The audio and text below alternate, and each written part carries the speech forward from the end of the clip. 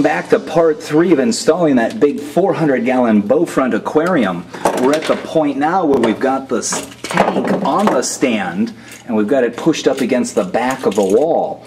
Jim, Bowfront cabinet guy, is in the process of um, assembling or completing the electrical there.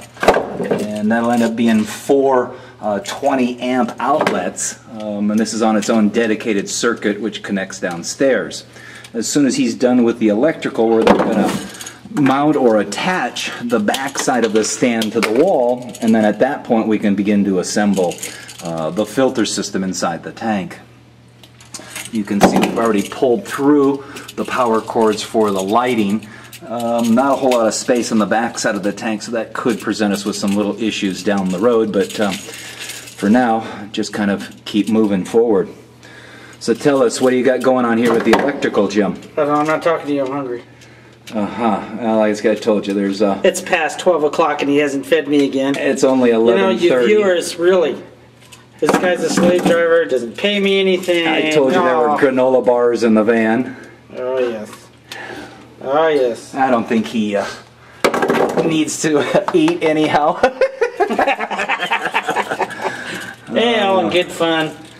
All right. right? Yep. So we'll have this done and we'll go get something to eat. And are you buying? Uh, I guess I'm buying. Any way to shut your ass? Woohoo! Did you hear that, everybody? He's buying.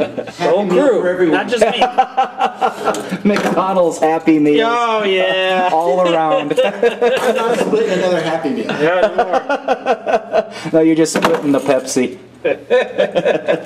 or the fries. Uh, so anyways, the ground's very important for us. Jim does not, should use a GFI in this situation, but um, it's good to use a GFI, but with this kind of aquarium and and It's- it's, the it's- worst thing if something shuts down. Exactly. It's almost a little too sensitive. I mean, I understand the safety issue and such, but I, I don't need um, some safety thing shutting down the aquarium for some unnecessary little right, issue. Right, but technically you should have it. But it's man, if you want to lose, some people put thousands of dollars in this stuff, and to have a GFI shut down while you're at work is the worst possible thing that can happen. Yeah.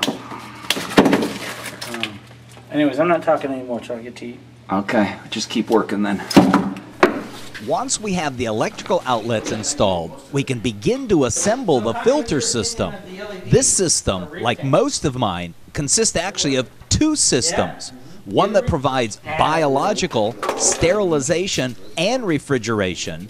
The second intended for high flow internal circulation and mechanical filtration. But first, we need to complete the electrical. Yes, we were bantering about Jim buying lunch, cheap bastard. Talking about us sharing Happy Meals, right? Isn't that right? We're unionizing. We want a Happy Meal each. Yes, each. And your own set of fries as opposed to everybody digging out of the same box. You guys keep the toy, I keep the food. you guys can share the toy kids play with for.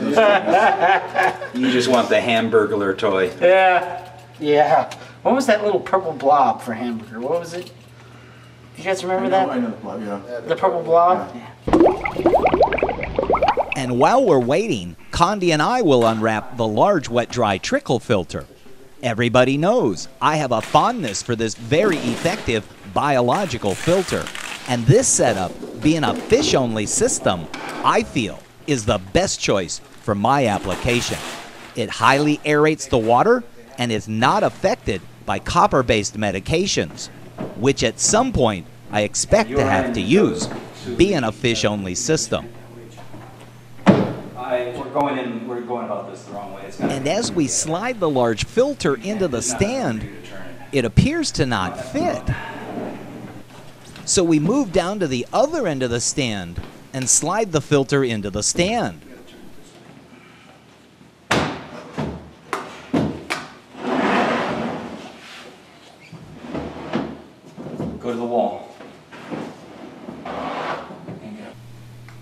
Well, maybe we can gain a few inches if we come through the openings in the center of the stand. I think we're going to have to go through this door. It'll give us at least a couple more inches. Okay, come on.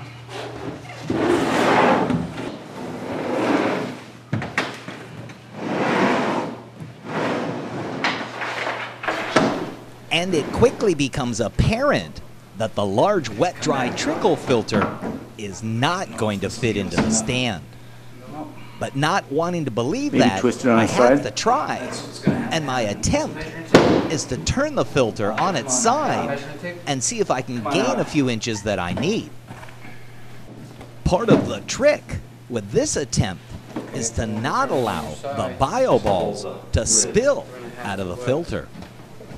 How's it gonna, how's it gonna come up this way?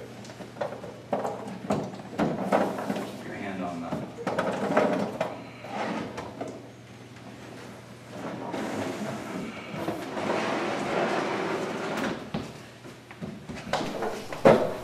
So let's see if we can squeeze this filter in. I think so. Ah, son of a bitch. Okay, slide her back out. Um, what happens if you were to elevate that end? How about one more final attempt? In the head.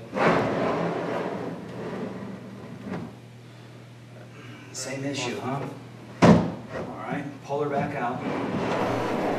Well, I gotta admit, I didn't expect this.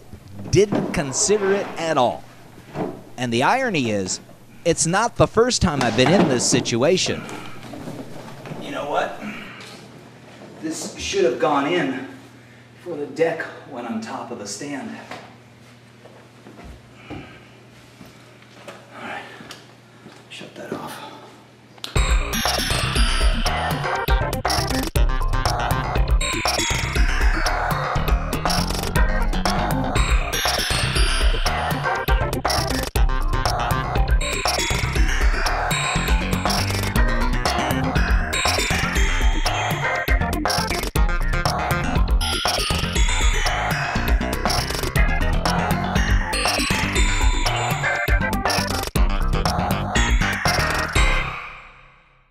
Hi there, my name's Jim Stime, and you know me as the LA Fish Guy. Well, I also wear a couple of other hats. One of them is the jellyfish tank called the Jelly Aquarium, and the third is myfishtank.com.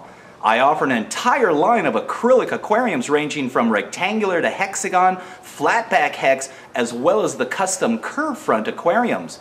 There's also an entire line of stands and canopies ranging from MDF to pine to oak with a variety of different finishes available. And the website is even smart enough that you can calculate what the freight and crate charges to your location will be.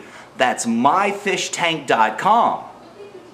For a limited time only, LA Fish Guys t shirts are back. Whether it's gear for cleaning your own aquarium or one upsmanship with your friends, these quality Hanes tees are 100% pre strung cotton. My three color LA Fish Guys logos are silk screened onto the back and front chest area of the shirts. Three sizes medium, large, and extra large. Go to lafishguys.com and click on the t shirt link to order your LA Fish Guys t shirts today.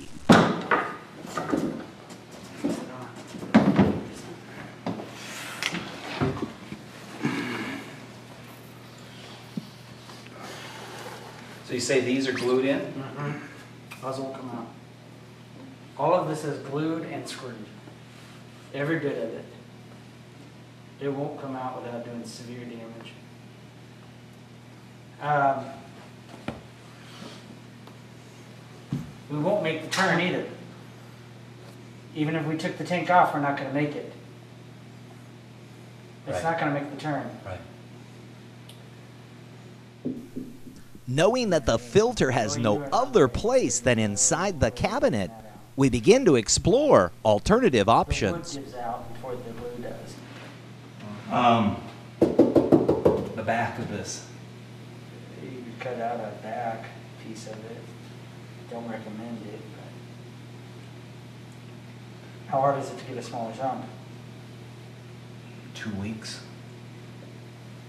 I don't really want to put the job off. Um, this back doesn't come off. No, it's glued. You can cut into it. I don't have a rotozip with me, but we could cut into it. If you recall, there are the horizontal supports that were shimmed up earlier on the underside of the deck, and those would inhibit us from coming through the top of the stand. I don't know if that's going to give us enough room to poke in make it, it has to be at an angle, it'd have to be from this side, because the plugs and everything, it has to be from this side.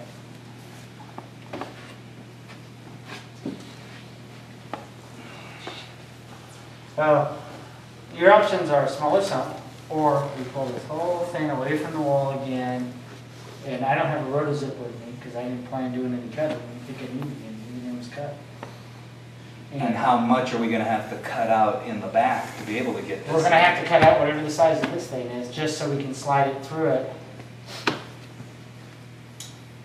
And we wouldn't have to pull it all the way away from the wall, we still would have to disconnect the Yeah. electrical, unscrew it, Uh-huh. pull it away from the wall, Uh-huh. cut the hole out of the back, Slide it in this way so we can get behind it, beyond that point, turn it, and, yeah, How big a hole?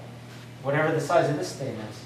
Eighteen by eighteen by, I think it's eighteen by eighteen by eighteen, Okay. isn't it? You're talking an awful lot to cut out. Eighteen? Eighteen. It's eighteen by eighteen. And where are you going to cut the hole?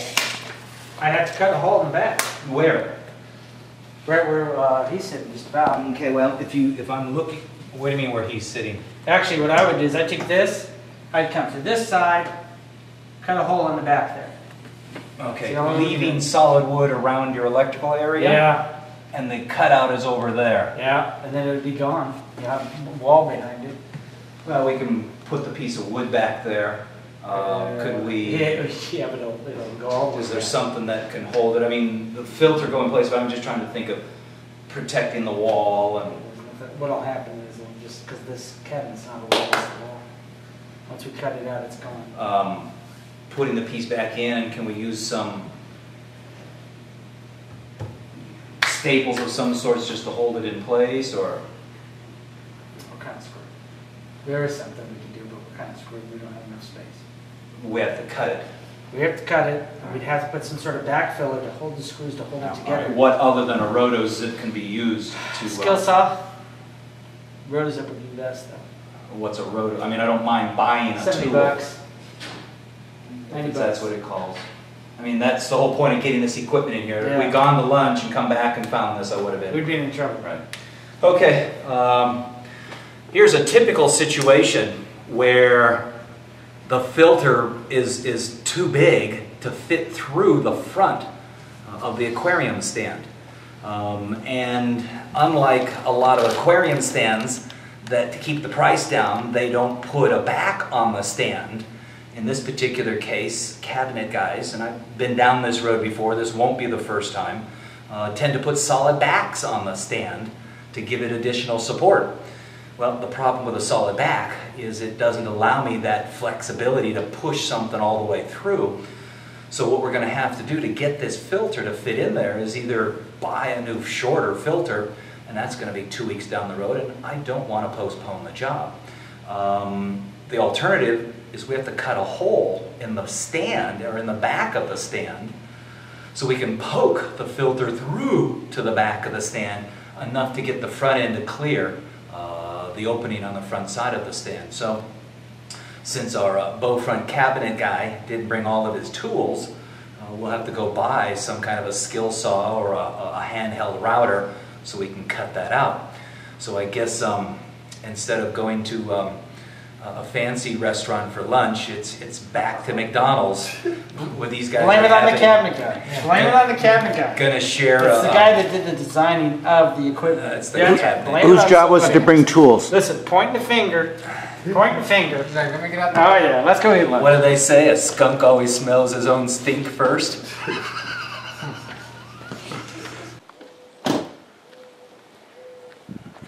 Okay, so once again, you know, Jim blames somebody else. It's 12:30. We haven't eaten breakfast or lunch. Uh, he made a missed measurement on his sump, blamed someone else, and now we're all going to starve for it. He wants us to stay here and keep working. No, we need to eat. He's got to cut this out. I am hungry this time. And so here's the canopy. We haven't put the canopy on yet. Because now we got to pull the whole tank away, pull the electrical out. and uh, kind of sets us back a couple hours. You know, whatever. Whatever it takes to get it done.